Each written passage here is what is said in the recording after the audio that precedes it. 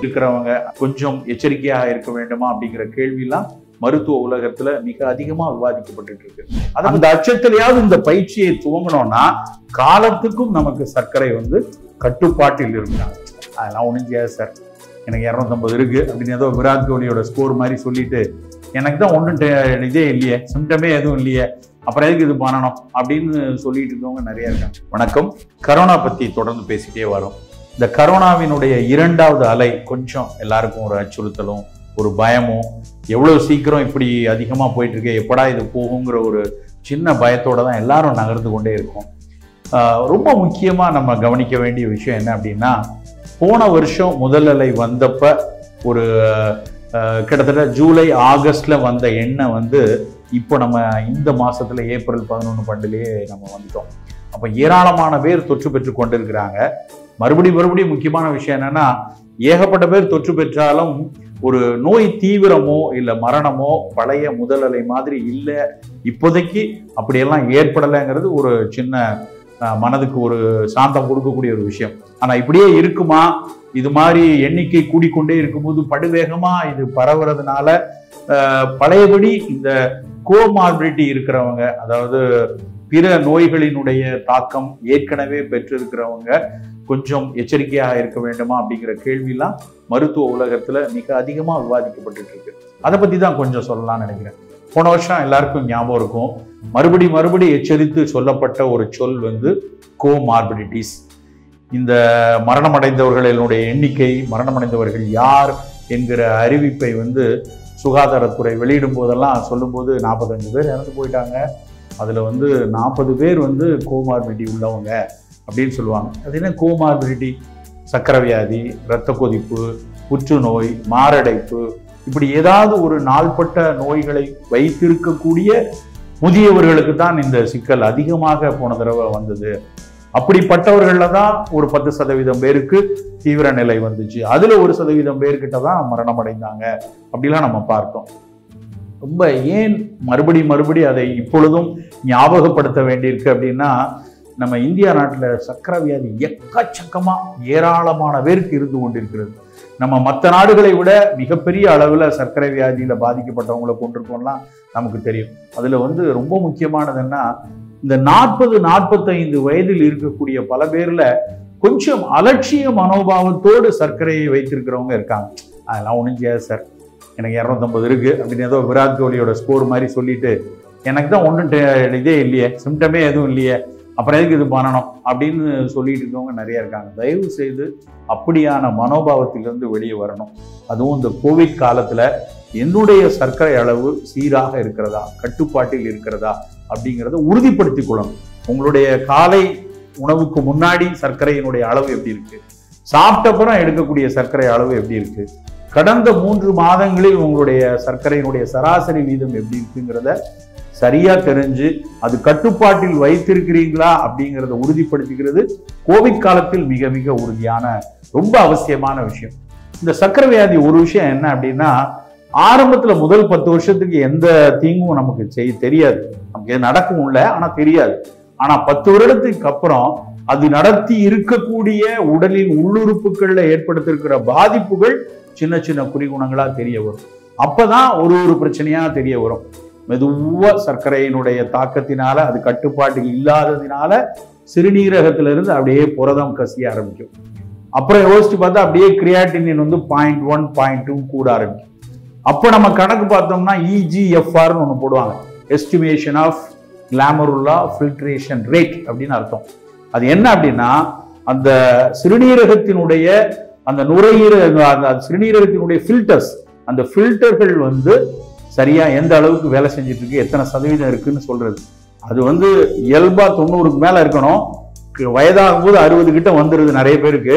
ஆனா அறுபதுக்கு கீழே போக போக அவர்களுடைய உப்புக்களை பிரித்தெடுக்கக்கூடிய தன்மையை இந்த சிறுநீரை இழக்க ஆரம்பிச்சு அப்போ சிறுநீரக தொந்தரவு இருக்கிறவங்க சர்க்கரை கட்டுப்பாடு இல்லாமல் முன்னூறு முந்நூற்றம்பது இருக்கவங்களுக்கு இந்த தொற்று பெற்றார்கள் என்றால் ஒருவேளை அவர்களுக்கு வந்து இந்த கோவிட் வந்துச்சுன்னா இந்த நோய் எதிர்ப்பாற்றல் சரியாக போராடக்கூடிய தன்மை கொஞ்சம் குறைவா இருக்கும் அப்படிதான் ஒட்டுமொத்த உலகமும் சொல்லுது.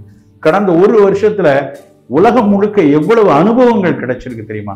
எத்தனை ஆய்வாளர்கள் எவ்வளவு கட்டுரைகளை சமர்ப்பிச்சிருக்காங்க அந்த அத்தனை கட்டுரைகள் பார்க்கும்போது இந்த முதுமையில சக்கரை வியாதி கட்டுப்படாமல் இருக்கிறவங்க இளைஞர்களையும் சக்கரை கட்டுப்படாமல் இருக்கிறவங்களுக்கு தான் இந்த பிரச்சனை ஒருவேளை தீவிரமடைவதற்கான வாய்ப்பு இருக்கு அப்படின்னு சொல்றாங்க. நண்பர்களே தயவு செய்து இந்த ரெண்டாம் அலை போய்கொண்டிருக்கு இன்னும் அது வந்து ஜூனா ஜூலை வரைக்கும் வருமா தெரியல. அந்த காலத்துல சர்க்கரையை கட்டுப்பாட்டில் வைத்திருப்பதற்கு ரொம்ப ரொம்ப மெனக்கெடுங்க. எப்படி? ஒரு சின்ன விஷயம். இந்த ஃபார்முலாவை முடியுமா நம்ம பார்க்கலாம். காலை உணவுல நல்ல காலை உணவு அப்படின்னாலே நம்ம வந்து இட்லி தோசை பொங்கல் வடை பூரி சப்பாத்தி நினைக்கிறோம். அப்படி இல்லாம இயல்பா இருக்கிறவங்க நார்மல் உணவுல இருக்கவங்க அப்படி எடுத்துக்கொள்ளலாம் சர்க்கரை வியாதியில இருக்கோமா?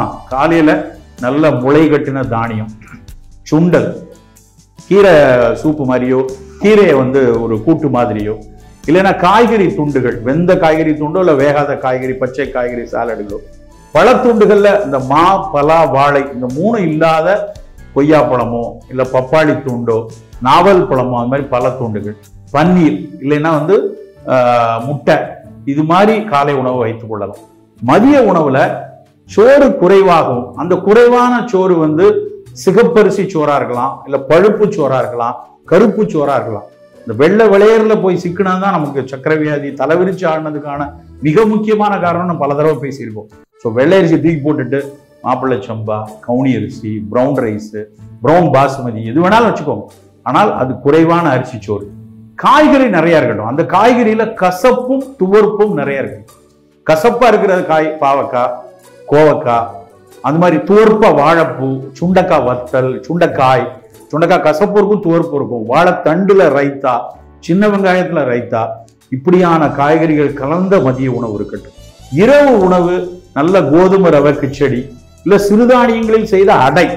அந்த மாவு வந்து அப்படியே நான் சார் நான் தினம் வந்து சிறுதானியங்கள் கஞ்சி குடிக்கிறேங்கிறாங்க. சிறுதானியங்களை கஞ்சி ஆக்கணும்னா அதுவும் வேகமாக தான் அப்சார்ப் ஆகும். சிறுதானியங்களையும் கார்போஹைட்ரேட் இருக்கு. சிறுதானியங்களை ஏன் மிகச்சிறப்பா நல்லதுன்னு சொல்றோம்னா அதுல இருக்கக்கூடிய பல நல்ல சத்துக்கள் புரதச்சத்து கனிமச்சத்து பல சத்துக்கள் இருக்கு. ஆனா அதையும் கஞ்சியாக்கி குடிச்சோம் அப்படின்னா அதுவும் வேகமா அப்சார்ப் ஆயிரும். இந்த சிறுதானியங்கள்ல உப்புமா செய்யலாம். இந்த சிறுதானியங்கள்ல அடை செய்யலாம். இந்த கோதுமை ரவை கிச்சடியா நிறைய காய்கறி போட்டு கிச்சடி செய்யலாம். அது மாதிரி இரவு உணவு எடுத்துக்கலாம். ஆனால் இரவு உணவுங்கிறது நடு இரவுல இல்லை. இந்த இரவு உணவுங்கிறது அஞ்சரை மணி ஆறரை மணிக்கு இரவு உணவை சாப்பிட்ருங்க காலை எட்டரை ஒன்பது மணிக்கு காலை உணவுனா சாயந்தரம் ஆறு மணிக்கு இரவு உணவு எடுத்தா அது கிட்டத்தட்ட ஒரு இன்டர்மீடியன்ட் ஃபாஸ்டிங்காகவும் இருக்கும். ஒரு பன்னெண்டு பதினாலு மணி நேரத்தில் வயிறை வெறு வெறுமனை விட்டுருக்கும் போது அதுவும் சர்க்கரை வியாதிக்கு பயனளிக்கும்னு பல பல்கலைக்கழகங்கள் சொல்றாங்க. இப்படியான உணவு திட்டத்தை இந்த காலகட்டத்திலாவது நாம் துவங்குவோம். இப்ப நமக்குள்ள அச்சம் இருக்கு. நம்ம கோவிட் வந்துடக்கூடாதுன்னு அச்சம் இருக்கு. அந்த அச்சத்திலேயாவது இந்த பயிற்சியை துவங்கினோம்னா காலத்துக்கும் நமக்கு சர்க்கரை வந்து கட்டுப்பாட்டில் இருக்கும். அப்படி கட்டுப்பாடா சர்க்கரை வச்சிருக்கும் போது கோவிட் வந்தா கூட அது பாட்டுக்கு வரும் கொஞ்ச நாள் இருக்கும் போயிடும். பெரிய தீங்குகளை உருவாக்காது.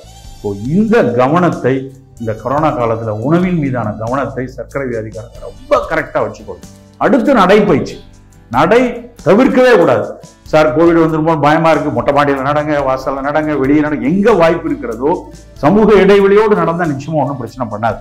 அப்படி நடைப்பயிற்சி கண்டிப்பா வச்சுக்கொள்வோம் மூச்சு பயிற்சி நடைப்பயிற்சி மூச்சு பயிற்சி உணவு கட்டுப்பாடு இந்த மூணு தான் எழுபது சதவீதம் சர்க்கரையை கட்டுப்பாட்டில் வைத்திருக்க உதவியா இருக்கும்.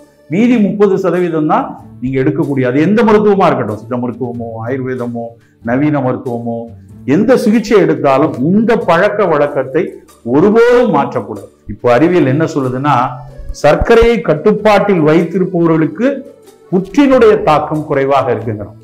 புற்றுநோய் வருவதற்கான பல முகாந்திரங்களை சக்கரவியாதி உண்டாக்குதுங்கிறாங்க.